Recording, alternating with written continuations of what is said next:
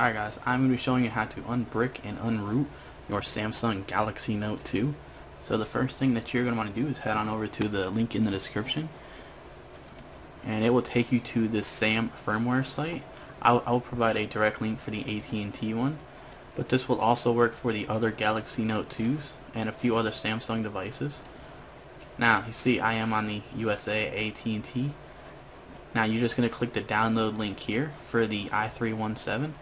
If this isn't your model, just change that and download the correct file. And then you're going to want to download Odin. What I did was I just searched Google for Odin version 3 and I found this thread right here with an attached zip and that's how I got my Odin.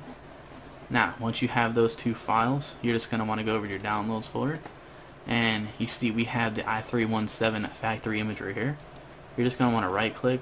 I have 7-zip, but it doesn't matter which one you have. And you're just going to want to extract that. And you're also going to want to find your Odin. And you're also going to want to extract that as well. So once you have extracted those, if you go into the factory image, you see that there is a .tar.md5 file. And if you go into Odin, we need to open up the .exe.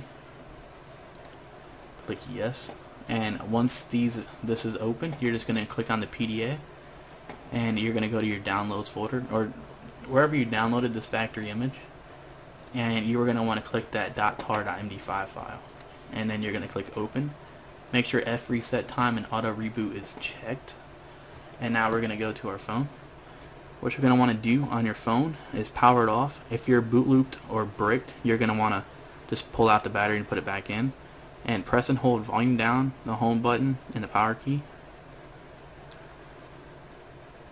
And it should get you into a download mode. Now once you are here, you're going to click volume up and it is going to say downloading. So now what you're going to want to do is just plug in your USB cable.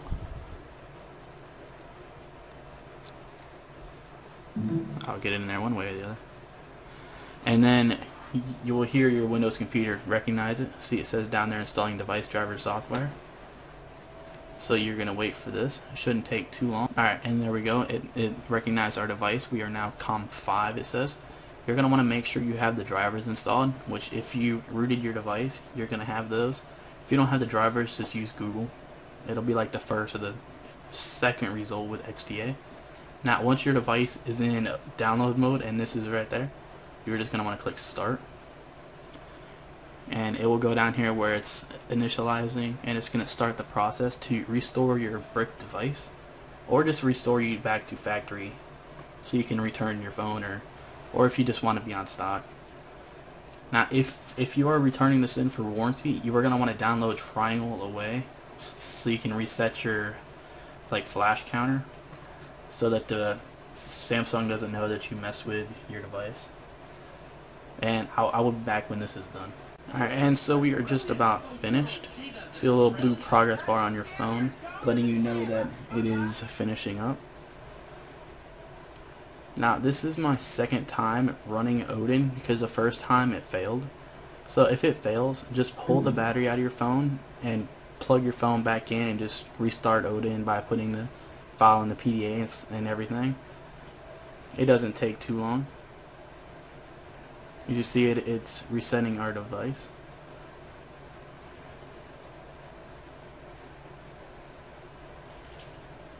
And now it should be booting up into the stock 8. Alright, and so my phone, it's been a few minutes, so I'm assuming it's not going to boot up. So what you're going to want to do is pull the back off of your phone, pull out the battery, put it back in. Now press and hold volume up, the home button, and the power key. Till you see Samsung then let go of the power key keep holding volume up. And this will boot you into stock recovery. Alright, and in the stock recovery you're just going to want to go down to wipe data factory reset. And you're going to want to wait for this to finish flashing. Should only take a second or so So you see it's done. Now we're going to go to reboot system now. See it says rebooting.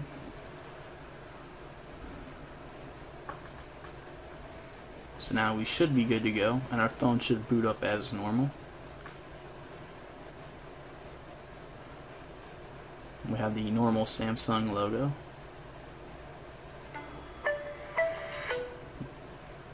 Haven't seen this boot, boot animation in a while actually. And also you see Odin says pass where the success 1 and then failed 0. But after since we did that, I will be back when this is done booting up. Alright, and now we are at the home screen. I'm going to hit cancel on this AT&T. I'm going to skip the Samsung account. I'll sign into all this later. Skip that. I'm just trying to get to the home screen. Press me. go into settings. Now we're going to go down to the about phone. As you see we are on Android 4.1.1 and we are on LJ2 as you see right there the baseband version. And if we go to system update and we check for updates we're going to click OK. And there actually should be an update available for Android 4.1.2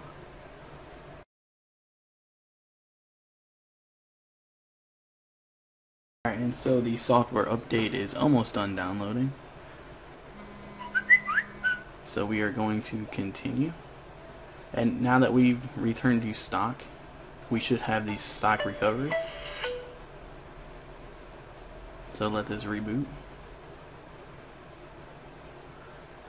And it's going to reboot into the stock recovery and install Android 4.1.2. This enables the multi-window feature, which if you were on a custom ROM, then I'm pretty sure you've already had this for a few weeks, actually a month or so. Alright, and we are at 100%. Update is complete. It's rebooting our device. Now we should be on Android 4.1.2.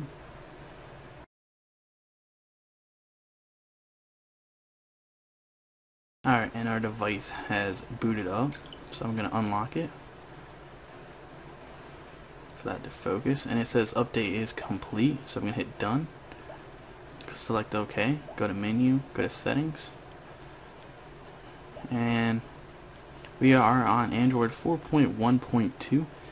And now we should have our multi-window. So we can press and hold back to get the multi-window feature.